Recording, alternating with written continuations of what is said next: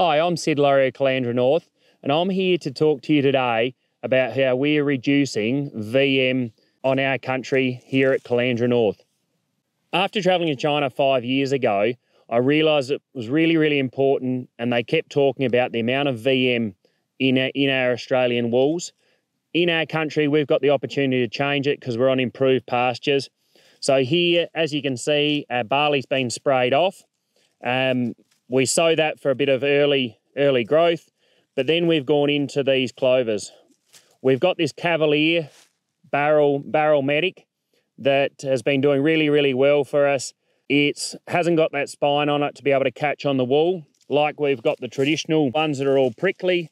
Um, has done really, really well for us. It still is in here for our diversity, but these, these newer varieties are starting to take over.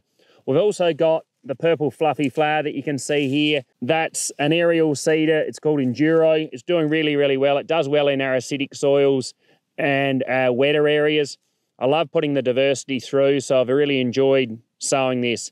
It's reduced our VM. We used to, in a good season, and have 3 4% VM. We're down to 0.5 um, these days using this system, and it's going really well. If you guys have any clovers or medics that are doing really, really well in your country, please pop it in the comments below. We'll see you next time.